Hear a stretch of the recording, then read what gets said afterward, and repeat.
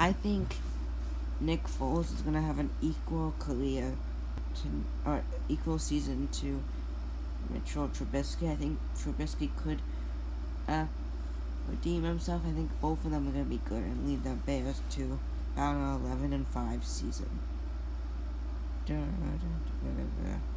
Welcome, guys. So, uh, today I'm talking about reacting to Nick Foles getting traded from the Jaguars to the Bears, and ah, wow.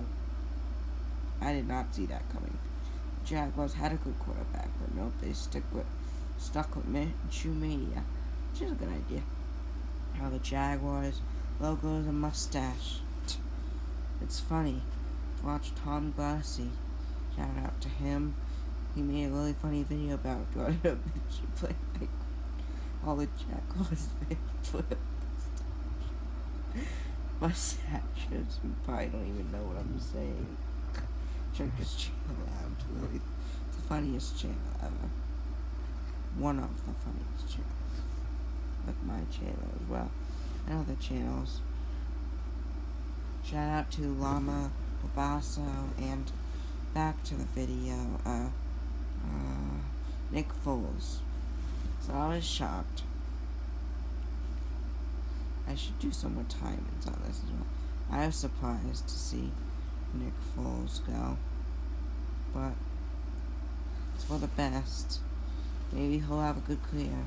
I think he'll he'll be part of the Bears' victory, but I think he'll play like six, seven games maybe.